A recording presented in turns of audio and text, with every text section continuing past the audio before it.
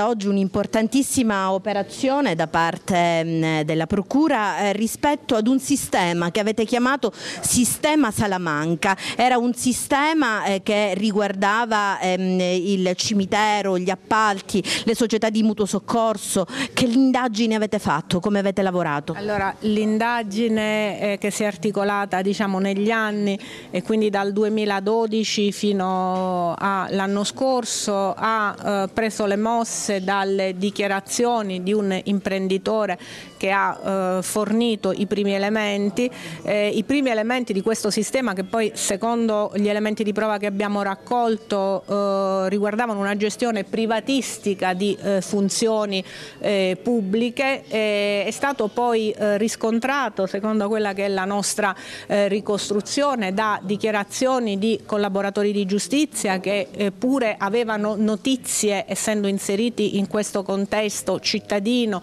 eh, della situazione, eh, attività di intercettazione telefonica, riscontri documentali.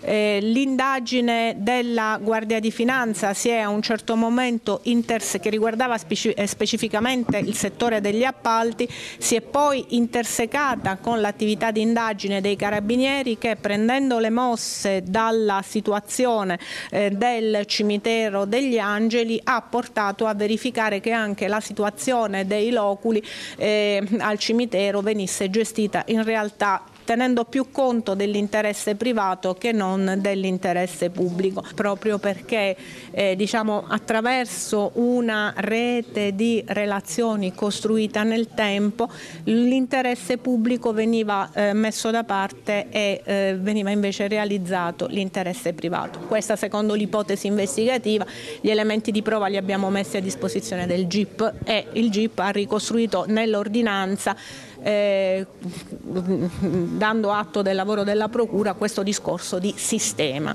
Diciamo, perché è ripetuto nel tempo. Noi abbiamo fotografato situazioni che vanno dal 2011 fino al 2013 questo sistema consisteva nel, in eh, un'ultima analisi nel eh, favorire eh, delle determinate società che in parte erano amiche e in parte erano direttamente riconducibili al, eh, al Salamanca. Tutti poi quei soggetti che oggi sono ai domiciliari eh, risultano aver avuto un ruolo attivo o essere dei beneficiari di questo, di questo sistema. Noi abbiamo semplicemente constatato che le società di mutuo soccorso per ottenere l'autorizzazione e la concessione all'esercizio di queste sepolture che gli sono state concesse, ha pagato i relativi oneri al Comune.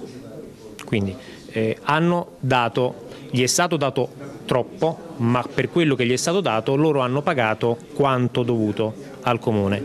Il Comune questo denaro lo ha incamerato, lo ha anche gestito, non lo ha messo a bilancio con l'indicazione della sua provenienza.